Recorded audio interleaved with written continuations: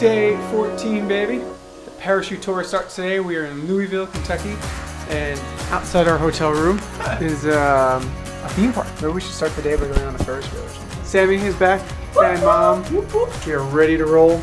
We're gonna go eat some breakfast. Found a good place called Wild Eggs on Main Street. I don't know what this is.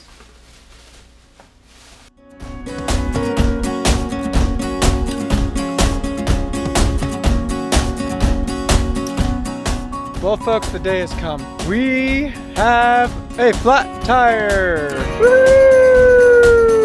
And the funny thing about this is, Joe Striff last night goes, "Man, I hope tomorrow on the longest drive of the tour, we don't get a flat tire." Be the problem, Mr. Striff. We got a nail right here. Looks like there's another puncture right there.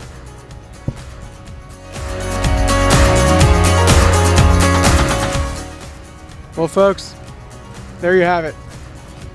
Say it again. What'd you say? That's that, folks. Get back on the road. Oh man, Joe Striff. He is. I mean, that sweat is just showing the hard work this man put in. Look at that. Let the audience get a good look at this.